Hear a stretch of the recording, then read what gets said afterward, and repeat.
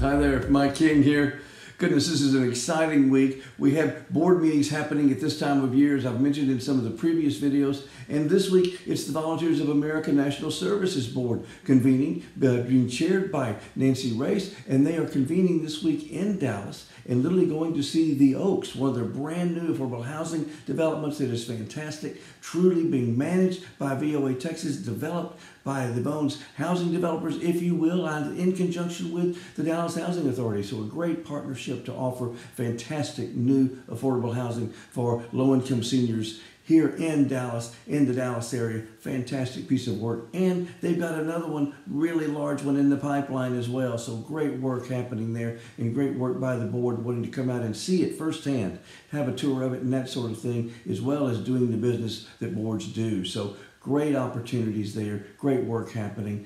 And also last week, very special weekend, very special weekend last weekend for our colleagues at the VOA in Colorado. They had their 30th anniversary Western Fantasy event, chaired, of course, by the magnificent Sharon Magness. She's done this for 30 years. This was sort of, as she says, her swan song in this. She has built this up to be the finest special event gala, if you will, fundraiser for any Volunteers of America entity in the country. She's done an incredible job, raised over $34 million for the people right there in Colorado, for work being done right there. And goodness, did she go out in style?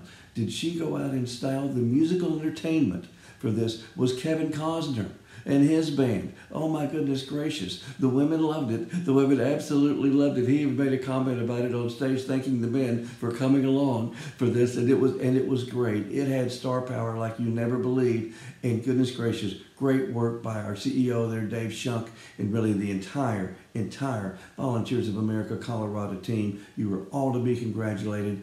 And Sharon Magness, you are wonderful. You are the most outstanding fundraising volunteer we've ever had within our wonderful family of VOA. Thank you so much for what you've done. We cannot thank you enough.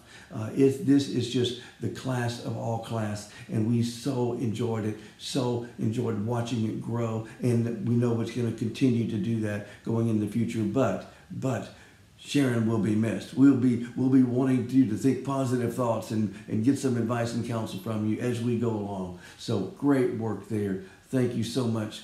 God bless all of you.